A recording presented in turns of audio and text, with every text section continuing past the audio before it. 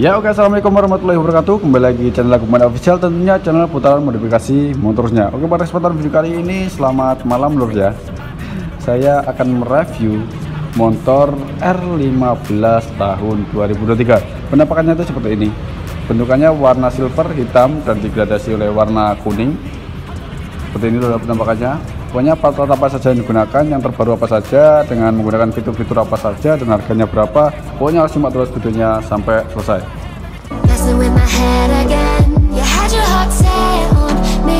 Jadi di sini saya akan mereview motor R15 penampakannya sudah ada di depan saya ya di sini dengan model rangka seperti motor MT15 Vixen XSR ini juga R15 ini juga masih menggunakan rangka Delta Box seperti ini ya?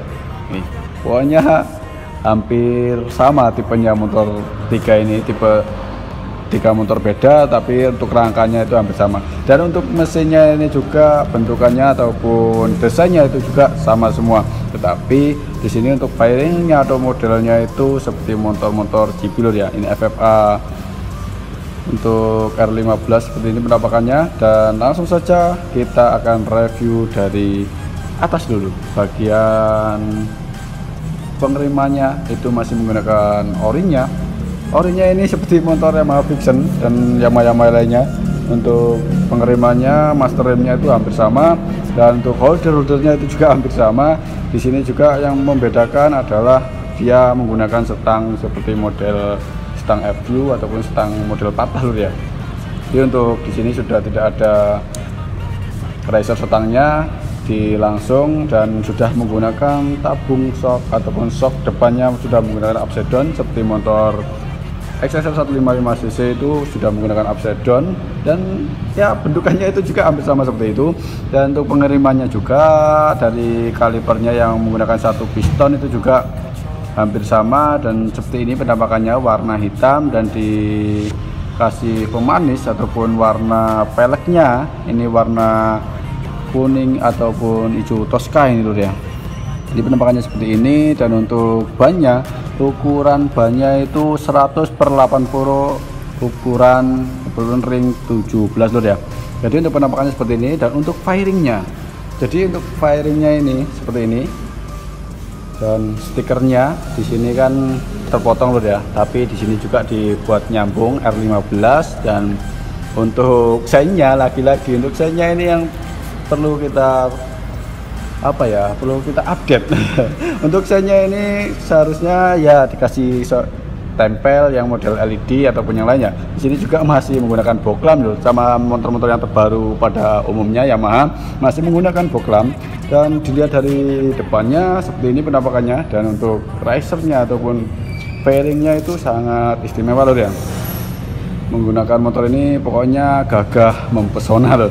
Dan untuk seinnya, eh untuk spionnya itu ada depan dan bisa dicopot juga untuk dudukan platnya juga sudah di sini ada. Untuk model spionnya ini sangat bagus ya. Dan penampakan dari belakang seperti ini untuk lampunya. Di sini untuk lampunya ini ukurannya kecil banget loh tapi ini sudah LED dan cerah banget ataupun terang banget loh ya. Dan di sini juga sudah LED semuanya.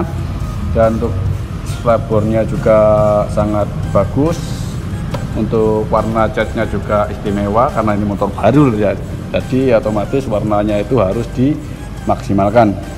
Jadi untuk penampakan samping sebelah kiri itu seperti ini dan untuk tankinya di sini saya akan review tankinya seperti ini. Jadi, untuk model tankinya itu masih seperti model tangki pada umumnya loh ya dan di sini juga ini hanya firing loh ya bukan langsung ke tangki ataupun ke mesinnya ataupun apanya ya? Pokoknya ini belum ke, langsung ke tankinya ini hanya covernya saja loh tapi sudah dibentuk ataupun sudah dikasih warna sedemikian rupa akan menyesuaikan dari peleknya warna seperti ini.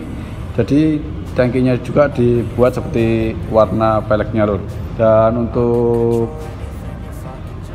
kuncinya itu masih menggunakan kunci yang biasa. Ada pengamannya juga yang pada umumnya lah motor pada umumnya terbaru juga seperti itu.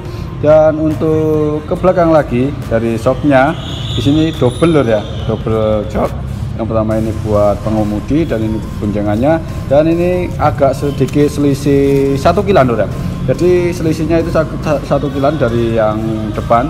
Jadi otomatis kalau dibonceng itu lebih tinggi loh ya pokoknya jentit banget cocok banget buat anak-anak muda yang menyukai jentit-jentitan dan untuk bodi belakangnya itu seperti ini dan di sini juga kalau dilihat sekilas itu seperti motor-motor GP emang ini motor GP model sport ya. Jadi di sini di ada selarongganya loh ya jadi ada selarongganya nanti kalau misal hujan itu ya agak sedikit cipratan loh ya.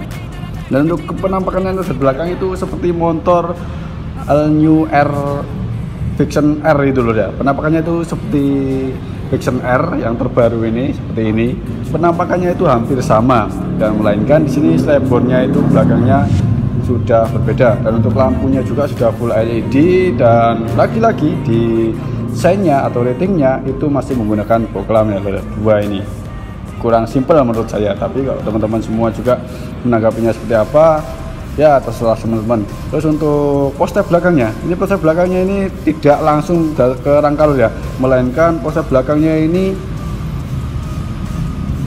ada. Jadi untuk poster belakangnya itu bukan langsung ke rangkal ya melainkan di sini ada sambungannya seperti baut. Jadi bisa dilepas ataupun bisa dicopot lur ya. Kanan kiri juga ready. Misal teman-teman semua masih jomblo tidak mempunyai pasangan ini motor ini bisa dicopot poster belakangnya.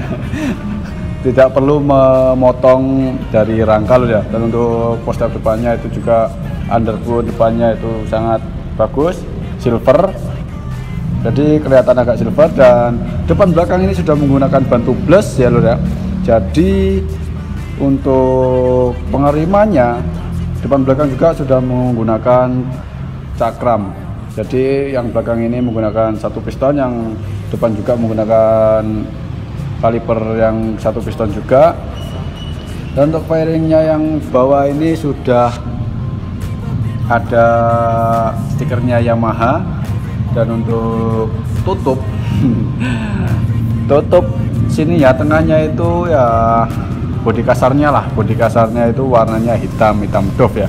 Jadi penampakannya itu hampir sama. Pokoknya bagus banget untuk tampilannya untuk shocknya itu kan yang lain biasanya warna hitam warna kuning di sini warna silver lur ya untuk pernya jadi disesuaikan dengan sedemikian rupa dan desain secara khusus untuk teman-teman yang menyukai motor-motor sport seperti ini dan menggunakan motor seperti ini buat San Mori, buat touring, buat perjalanan jauh ini cocok banget buat teman-teman ataupun anak muda yang sukai motor seperti ini cocok banget loh ya. Jadi tunggu apa lagi? Pokoknya langsung saja dipesan lah ini. Kebetulan ini motor R50 jadi untuk model mesinnya ini seperti motor-motor pada umumnya, tetapi ini sudah ditutup dengan fairing ya, ya. Ya pokoknya cc masih sama dan untuk kelengkapan terbarunya, fitur-fitur barunya ini sudah menggunakan speedometer digital dan sudah connect dengan smartphone teman-teman loh ya. Jadi ini sangat memudahkan bagi teman-teman semua